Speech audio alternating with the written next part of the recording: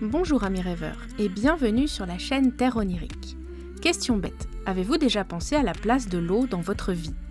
Notre corps est composé à plus de 65% d'eau et tout comme la quasi-totalité du règne animal sur notre Terre, il est vital pour nous d'en boire chaque jour afin de nous maintenir en vie. Il est donc normal que les humains aient rapidement donné des propriétés magiques à l'eau. Je vous propose aujourd'hui d'aller voir quelques histoires au sujet de la fontaine de Jouvence, dont l'eau aurait la propriété d'offrir la jeunesse éternelle à tous ceux qui en boiraient. Si vous êtes prêts, on y va tout de suite après le générique.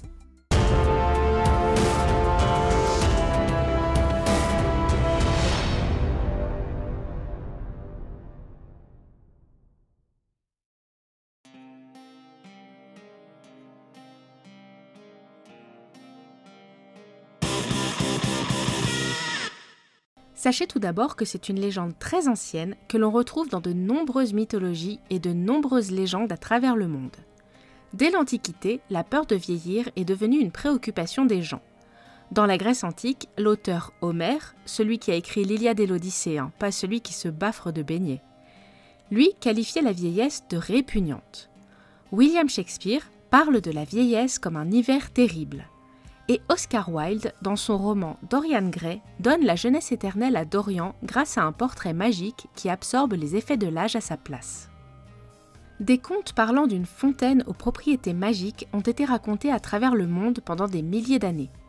En Europe, je peux vous citer le grec Hérodote au 5e siècle avant Jésus-Christ.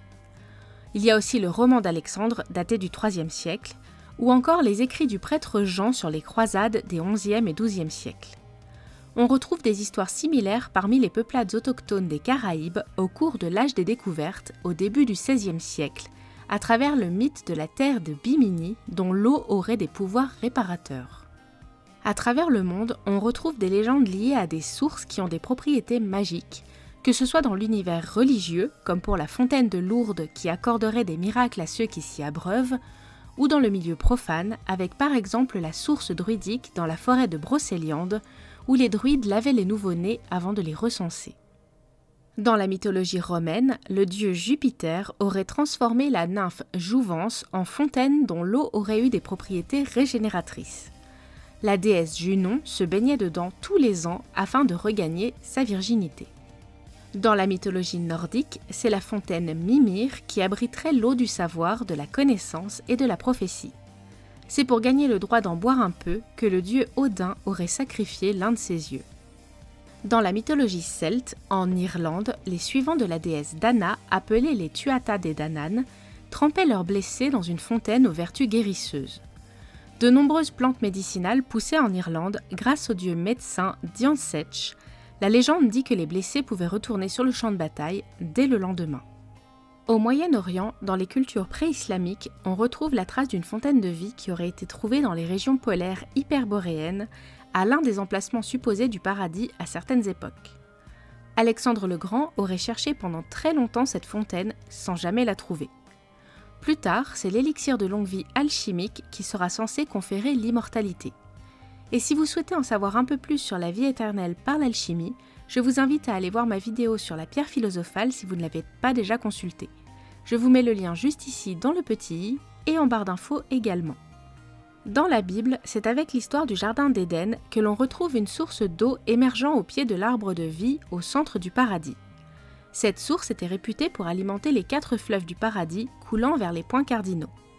La Bible ne mentionne cependant pas explicitement la fontaine de Jouvence et elle ne parle pas de vertu magique de cette eau non plus. Dans le livre de l'Apocalypse, plusieurs sources sont mentionnées, dont la source contenant l'eau qui donnerait la vie.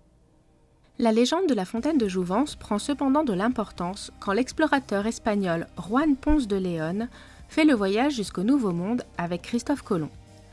Ponce de León était le premier gouverneur de Porto Rico et l'histoire raconte qu'il cherchait la fontaine de Jouvence pour retrouver sa jeunesse et notamment pour soigner ses problèmes d'impuissance. Il aurait ainsi voyagé jusque l'actuelle Floride en 1513, après avoir été informé par les Amérindiens de la mythique terre de Bimini. Mais attention, il semblerait que cette histoire soit fausse, car du temps de son vivant, aucune preuve ne semble montrer que Ponce de Léon était effectivement à la recherche de cette fontaine. Ses écrits sont apparus après sa mort et rien ne prouve qu'ils soient exacts. En 1575, un autre espagnol qui s'appelle Hernando de Escalante Fontaneda fut rescapé d'un naufrage et a vécu pendant 17 ans avec les Amérindiens. Dans ses mémoires, il parle de la fontaine de Jouvence et la situe lui aussi dans l'actuelle Floride. Et là, vous êtes censé me dire Mais dis donc, Ellie, deux Espagnols qui cherchent tous les deux en Floride, ça veut bien dire quelque chose, non? Eh bien, sachez que la ville de Sainte-Augustine, l'une des plus anciennes villes des États-Unis qui se trouve en Floride, a une attraction touristique un peu particulière. Je vous le donne en mille une fontaine que ses habitants jurent être la fontaine de Jouvence découverte par Ponce de Léon. Mais arrêtez tout de suite d'acheter vos billets d'avion pour Sainte-Augustine, vous vous doutez bien que si leur fontaine avait de telles propriétés, tous les retraités du monde s'y précipiteraient pour retrouver leurs 20 ans. Et ouais, désolé de casser le mythe, mais les historiens pensent que Ponce de Léon n'a certainement jamais mis un orteil dans la ville de Sainte-Augustine. Bon après, si vous voulez, je me dévoue pour aller goûter un peu de cette flotte magique. Mais avant, va falloir que j'accumule un peu plus de moula parce que purée, c'est pas donner les billets. Bon, trêve de plaisanterie. Voilà pour la petite histoire de la fontaine de Jouvence. Si vous vous arrêtez là, pensez à me laisser un petit pouce en l'air si vous avez aimé la vidéo. Et pour ceux qui restent encore un peu avec moi, je vous propose d'aller voir l'impact du mythe de la fontaine de Jouvence sur la pop culture. Comme chaque fois, vous vous en doutez, il existe beaucoup d'œuvres qui parlent de la fontaine de Jouvence et je ne peux décemment pas vous faire la liste de tout ce qui existe. C'est pourquoi je vous ai fait une petite sélection et je vous invite dans les commentaires si vous avez d'autres œuvres à me proposer. Vous l'avez peut-être vu, mais j'ai mis un petit mot mystère à m'écrire dans les commentaires depuis deux vidéos maintenant. Vous semblez peu à les avoir trouvés, donc aujourd'hui, sachez que le mot mystère, c'est jeunesse. Et sinon, on commence avec un peu de cinéma, et plus précisément avec un film qui date de 1989 et qui reste encore aujourd'hui pour moi un incontournable. Indiana Jones et la dernière croisade de Steven Spielberg avec Harrison Ford dans le rôle principal. Dans ce film, à un moment, on peut voir Indy qui verse de l'eau contenue dans le Saint Graal sur une blessure que son père a reçue et il lui sauve ainsi la vie.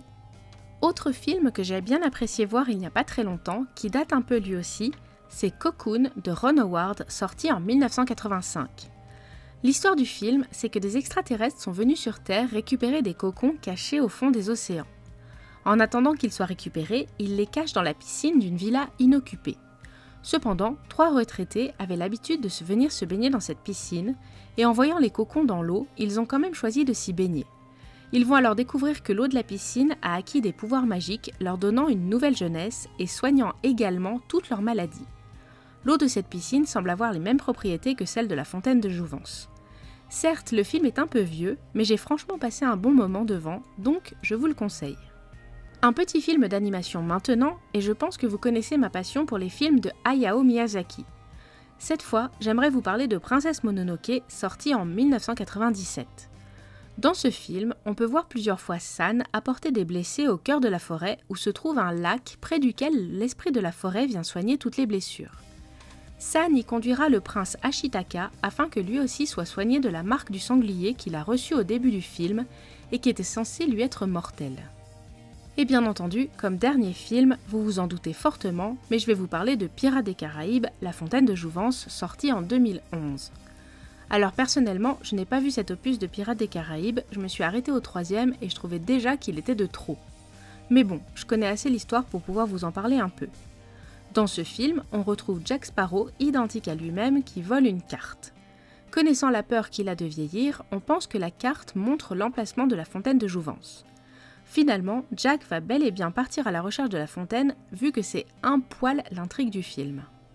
Niveau série télé, j'aime bien vous citer la série Charmed, donc sachez que dans l'épisode 4 de la saison 7, les sœurs Halliwell sont engagées par un très vieux pirate pour retrouver un des calices qui sert à activer la fontaine de Jouvence. Et enfin, pour les jeux vidéo, j'en ai choisi aujourd'hui deux à vous présenter. La campagne principale du jeu Age of Empire 3 a pour objectif de trouver la fontaine de Jouvence. Et pour le jeu Civilization 5, une licence que j'apprécie particulièrement comme vous le savez peut-être depuis mon épisode sur les jeux vidéo cet été, il existe des merveilles naturelles un peu partout sur la map du jeu.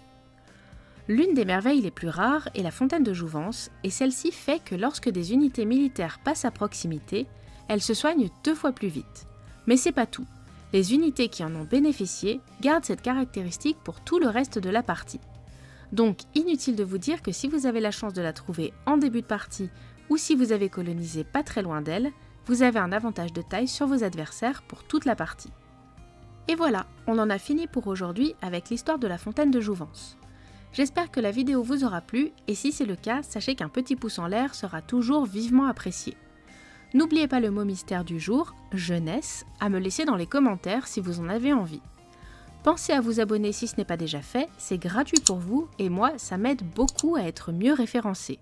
Vous êtes encore énormément à regarder mon contenu sans être abonné. Les liens de mes réseaux sociaux sont en barre d'infos si ça vous dit également. Et en attendant, je vous dis à la semaine prochaine pour un nouveau voyage sur les terres oniriques.